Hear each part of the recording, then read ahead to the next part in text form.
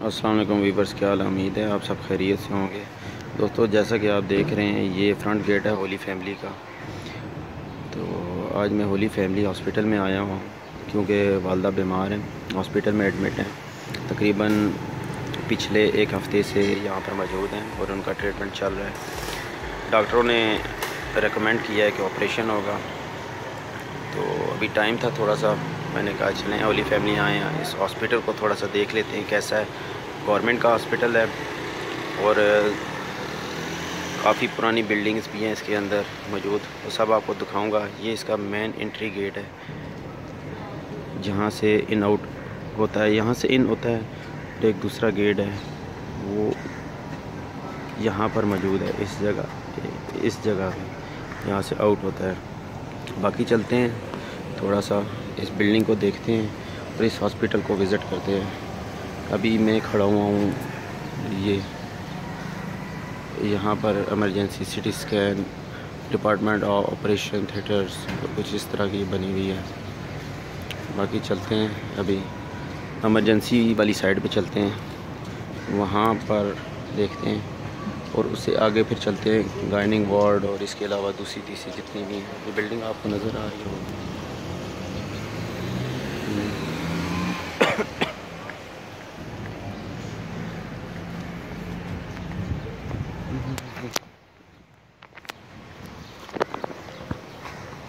ये कॉर्नर पे कंटीन बनी हुई है।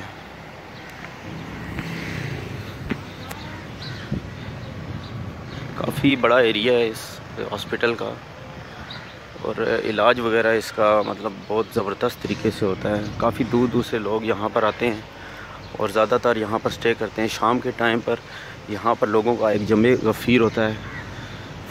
वो भी मैं आपको जगह दिखाता हूँ, उस साइड में मैं चलता हूँ। जहाँ पर लोग, यहाँ पर ज़्यादातर लोग मतलब काफ़ी दूर दराज से आते हैं फैमिलीज़ वगैरह भी आती हैं और मतलब जो उनका मरीज़ होता है, उसे एडमिट कर लिया जाता है और बाकी वेटिंग रूम होते हैं। यहाँ पर वो अपना टाइम स्पेंड करते हैं। ये कंटीन बनी हुई है साइड से।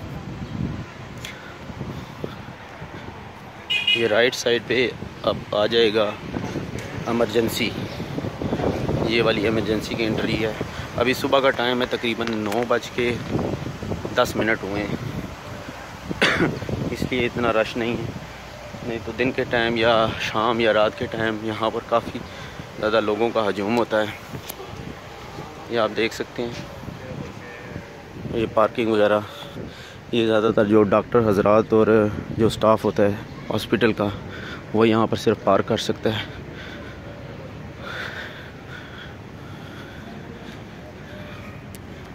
ये चेक करें। ये डिपार्टमेंट ऑफ़ इमरजेंसी मेडिसन है। ये वाला।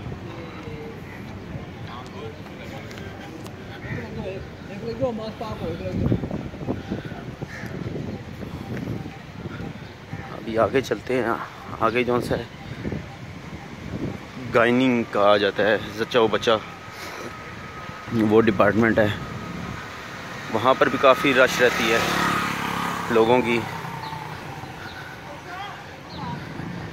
यहाँ पर लोग सिर्फ़ सिर्फ़ कहते हैं कि गवर्नमेंट का हॉस्पिटल है। बाकी नाम ही का है, गवर्नमेंट का हॉस्पिटल ये है कि डॉक्टरों के ट्रीटमेंट वगैरह जो से हैं यहाँ पर फ्री होते हैं। और बाकी जितनी भी मेडिसन्स मेडिकेशन है, वो ख़ुद ख़रीदनी पड़ती है। यहाँ पर बाहर एक गेट ये है, लेकिन ये गेट इन लोगों ने बंद किया हुआ है।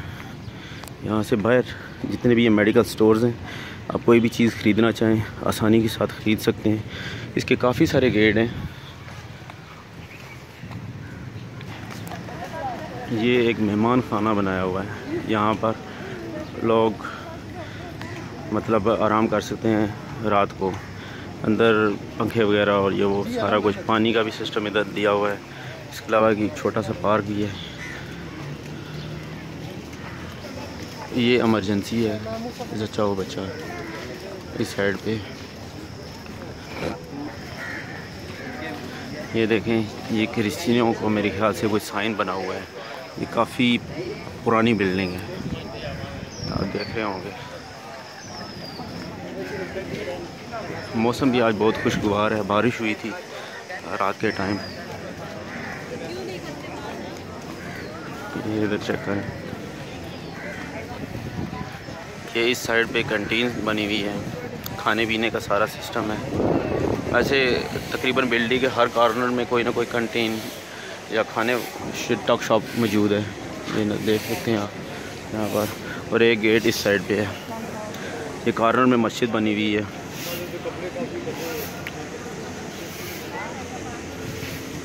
इस साइड पे मस्जिद है और इसके अलावा ये भी है कोई बिल्डिंग इसकी। ये देखें, Holy Family Hospital, Rawalpindi. Old block, ये ओल्ड ब्लॉक है इसका। ये आप देख सकते हैं। ये वाला काफ़ी पुराना। और एक गेट ये वाला है, इसकी बाहरी साइड पे तकरीबन जितने भी हैं मेडिकल स्टोर है, इस साइड पे। मैं बिल्डिंग का राउंड अबाउट ले रहा हूँ, होली फैमिली हॉस्पिटल का। चारों तरफ़ से आप लोगों को दिखा रहा हूँ ये कैसा नज़र आता है, क्या हिसाब किताब है। अंदर से भी हो सका तो मैं आपको कुछ थोड़ा बहुत दिखाऊँगा। क्योंकि आज मूड था कि बाहर से आप लोगों को दिखाऊँ।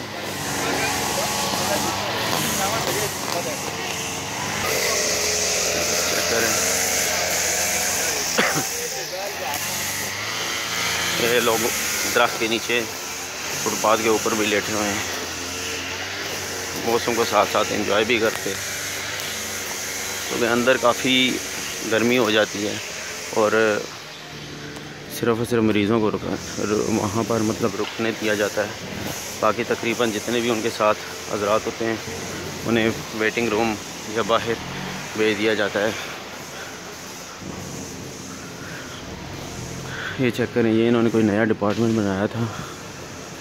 नहीं, ये जो सा है, ये रावलपिंडी मेडिकल यूनिवर्सिटी का है कोई। ये साथ में। ये भी चेक करें। Rawalpindi Medical University. Teaching block है ये। ये देखें, इसकी कितना है? ग्राउंड फ्लोर भी है। First floor, second floor, third floor third floor तक है। ये वाला। इसके अलावा ये भी एक बिल्डिंग है। इस साइड पे भी एक बिल्डिंग है। ये आप चेक कर सकते हैं। ये थोड़ा सा इसका बैक साइड आ जाता है।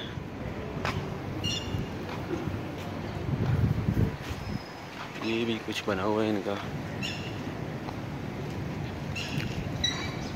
इस साइड से ये इस साइड पे मेरे ख्याल से बिल्डिंग्स बनाई हुई हैं लोगों की रहायशों के लिए, जो कि यहाँ पर सर्विस करते हैं उन लोगों को यहाँ पर रहने के लिए। फ्लैट्स वगैरह दिए जाते हैं, अपार्टमेंट्स वगैरह।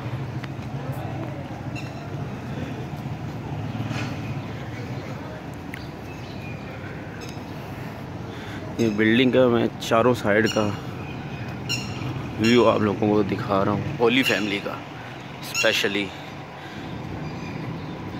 और मैं उस गेट के पास पहुंचूँगा जहाँ से मैंने स्टार्टिंग लिया था और जहाँ से इन आउट किया जाता है। इसके अलावा ये भी है कुछ थोड़ा सा इसका एरिया लेकिन ये ये समझ लें, ये रेजिडेंशियल एरिया है, जो कि स्टाफ है उन लोगों के लिए यहाँ पर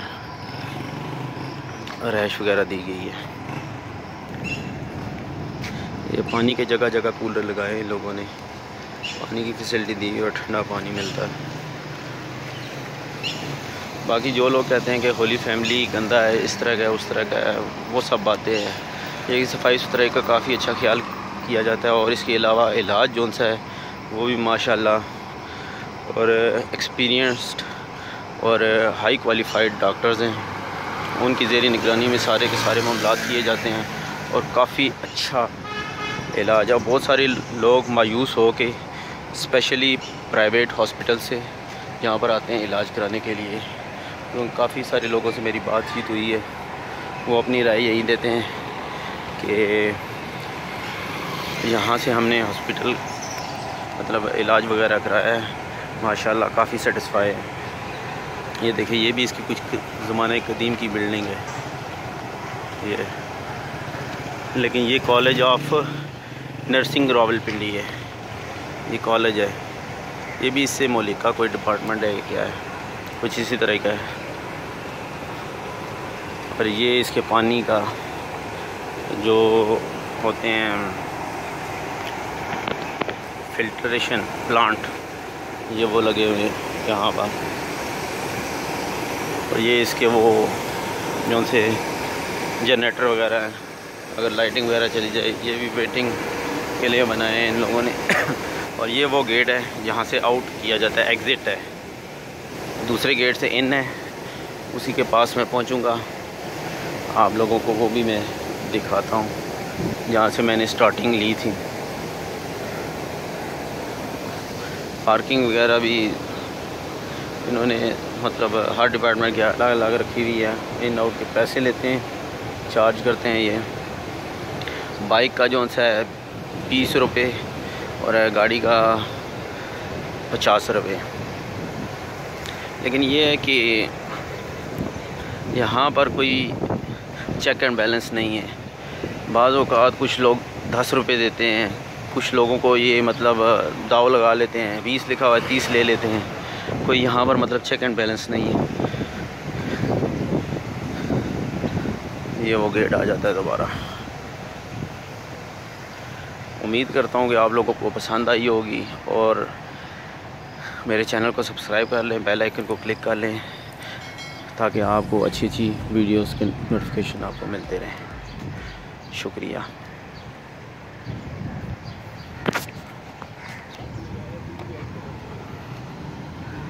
ये चेक करें। मैं उस गेट के पास पहुँच चुका हूँ, जहाँ से मैंने स्टार्ट लिया था। ये बिल्डिंग का राउंड अबाउट मैंने ले दिया है। आप लोगों को दिखाया ये चेक करें